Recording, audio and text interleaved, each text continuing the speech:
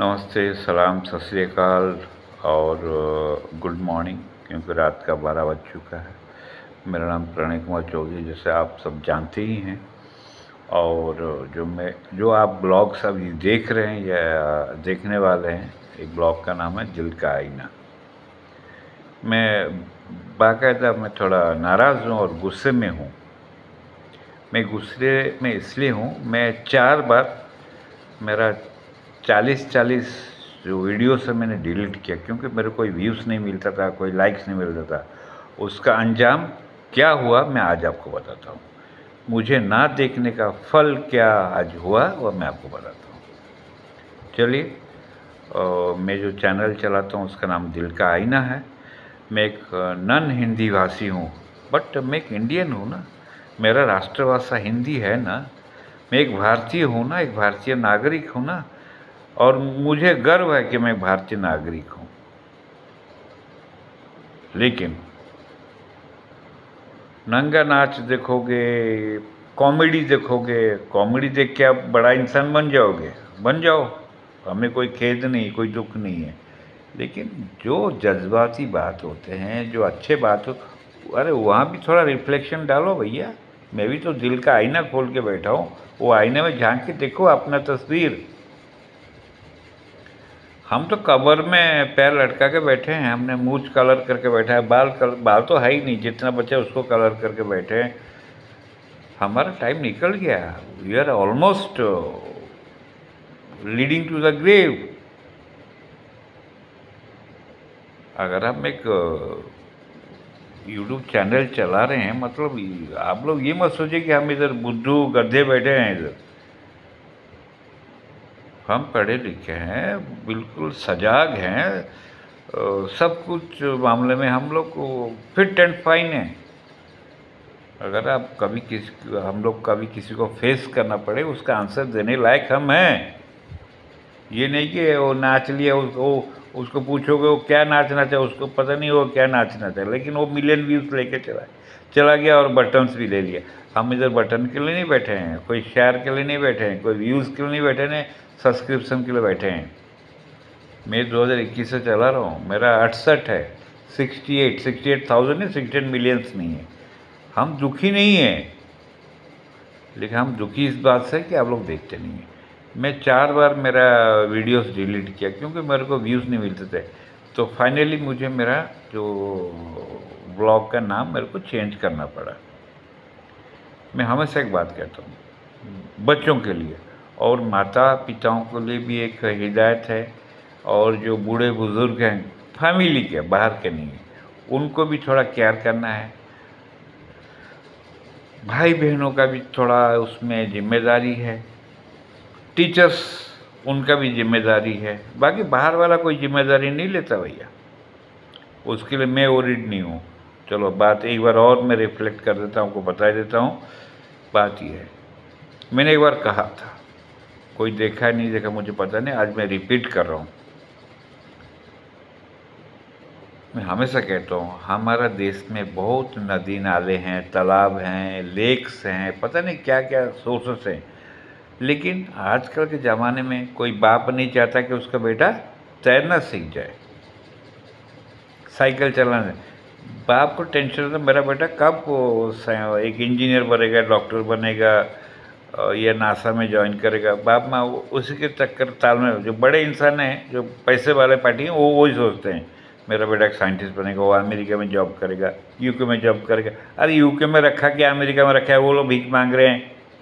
बच्चों को वहाँ क्यों भेज रहे हो? पैसा इधर है हमारे देश में। अमेरिका से हमें करेगा क्या?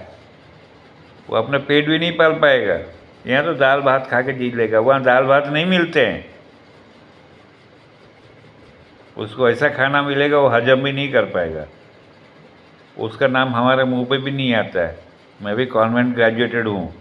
मैं बाईस तेईस कंट्री घुमा हूँ। जब हमको हजम नहीं होता, आप क्या हजम करोगे? कितने पैसे वाले हो आप? पाँच हज़ार करोड़ के मालिक हो। सभी तो पाँच हज़ार करोड़ के मालिक नहीं। हाँ उनका बच्चा जी सकता है। हम नहीं जी सकते। चलो, बात वो नहीं, बात जो है मैं चार पाँच बार वो रिफ्लेक्ट किया है, बात बताया। आप कैसे भी पिता माता हो, बच्चों को एजुकेशन देना आपका फ़र्ज़ है, आपका धर्म है, आपका कर्म है। टीचर्स को पढ़ाना उनका धर्म है, कर्म है, सब कुछ है। बूढ़े बुज़ुर्ग जो हैं, उनका अपना नाती पति को समझाना उनका धर्म है, कर्म है। और अगर मैं भी एक यूट्यूबर के हिसाब से यहाँ हाजिर हूँ, आपके सामने हूँ, मेरा भी फ़र्ज़ बनता है कि मैं भी कुछ हिदायतें दूँ, कुछ एडवाइस करूँ, कुछ अच्छा बातें सिखाऊँ। फ़ायदा क्या? मैं सेम बात मैं चार बार रिपीट किया और चार बार मेरे ब्लॉग्स को मैं मेरे वीडियोस को मैं डिलीट किया। इसलिए किसी में नो व्यूज़ किसी में एक व्यूज़ इसलिए कहते हैं बीस उंगली, आपको पचास उंगली भी मिलता ना तो आप स्क्रॉल ही कर जाते सबको नंगा नाच पोर्नोग्राफी चाहिए। और इसलिए हमारा दुर्दशा इसलिए है। मैं बहुत गुस्से के साथ बोल रहा हूँ। मैं हमेशा बोल, बोलता था जो जो मेरे को देखें, अगर ये रिपीट हो रहा है, अगर वो लोग देखें, वो लोग बोलेंगे, नहीं, ये बंदा जो है, वो सही बोल रहा है। सेम चीज़। मेरे घर के पास पाँच सात किलोमीटर के बाद एक बहुत बड़ा जंगल है। पहाड़ी है। पहाड़ी का जो पानी, जो फ्लो होता है, बारिश के टाइम में, उसको बोलते हैं फ्लैश फ्लड वो बहुत डेंजरस होता है। आपने देखे होंगे। नहीं देखे होंगे तो आप यूट्यूब में मारिए what is flash flood you will come to know what is flash flood वो बहुत खतरनाक है। आप कितना भी तैराक हो, आप बच नहीं सकते। फ्लैश फ्लड में बच नहीं सकते। आप समुद्र में बच नहीं सकते। अगर आप इतना उस्ताद नहीं हो। मैं नई में था, मैं नदी का तैराक हूँ, तैरने वाला हूँ। मास्टर स्विमर हूँ, फिर भी मेरे को डर लगता पानी में घुसने के लिए। मेरे को पानी में फेंक दो, मैं छः महीने जी जाऊँगा। उतना मेरे बॉडी में दम है। लेकिन आजकल के बाप माँ जो हैं, उनको पता नहीं कि स्विमिंग भी एक हिस्सा है हमारा ज़िंदगी का, वो सीखना ज़रूरी है। बात वो भी नहीं है, जो बाद में बोलने आए वो मैं तो बोल ही नहीं रहा हूँ। मैं कई बार रिपीट किया हूँ, ये साल में 2023 और 24 में कम से कम 25 बच्चे उसी जगह पे डेथ हो गया उनका। कॉलेज से भाग के आ जाते हैं, पिकनिक बना के बनाने चले जाते हैं। उसमें कोई तैरने वाला होता है और कोई बिना तैरने वाला होता है।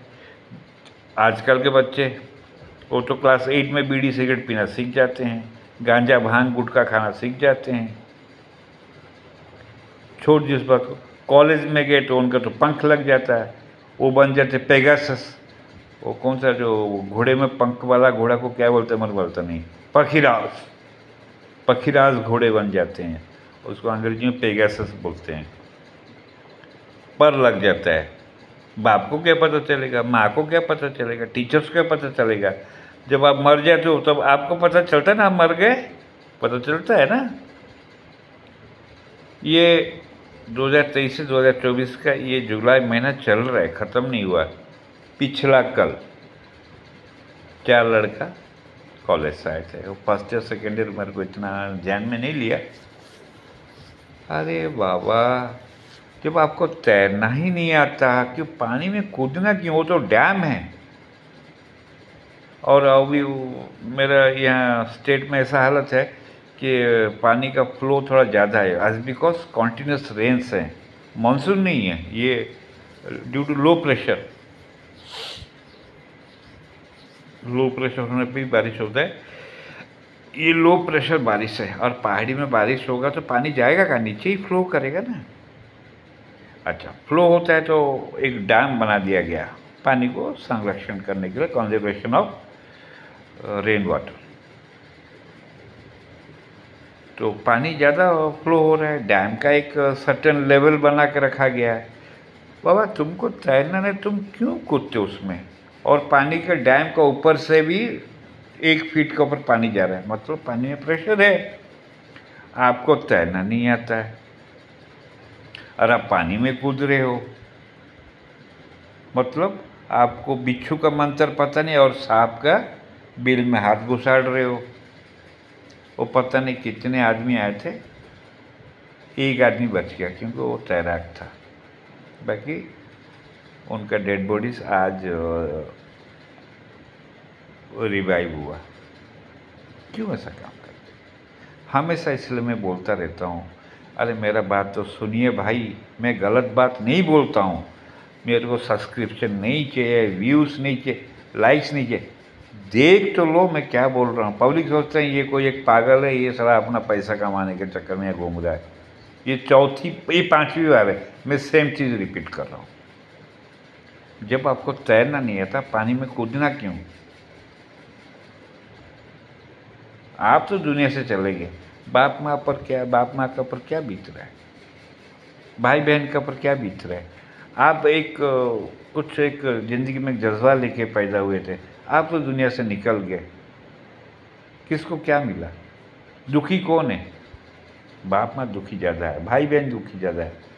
दुखी हम भी हैं। क्योंकि आप हमारा बात सुनते नहीं हैं। और हम यहाँ संत मतलब समाज सुधारक बन के निकले बैठे हैं। मेरे को बहुत दुख है। दुख क्या मैं बहुत नाराज़ हूँ क्योंकि पब्लिक को, हमको कोई देखना ही नहीं चाहता। क्या हुआ? अरे मैं प्रिपेयर होऊँगा, तब तो मैं किसी एग्ज़ाम के लिए जाके लिखूँगा। जब आपको तैरना नहीं आता पानी में क्यों कूद रहे हो मेरे बच्चे? क्यों कूद रहे अब तो रहे नहीं ना दुनिया में। अब दुनिया संसार छोड़ के चले गए ना। अब तो मस्ती करने आए थे। वो मस्ती वहीं ख़त्म हो गया ना बच्चे। हैं? बाप माँ पर क्या बीत रहा है? जो माँ बाप इतना कष्ट से आपको पैदा किया इतना आपको पा,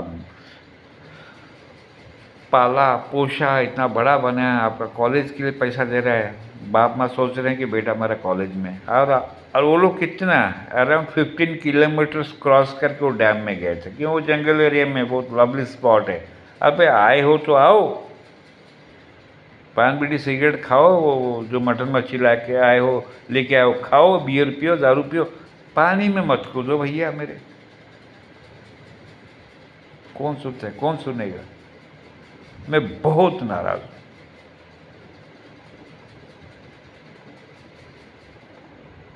इसीलिए मैं झूठी बात बोलना मेरे को अच्छा नहीं लगता। भले मेरे को जेल हो जाए, मेरे को फांसी हो जाए, मेरे को गले, मेरे मेरे को यहाँ कोई शूट कर दे।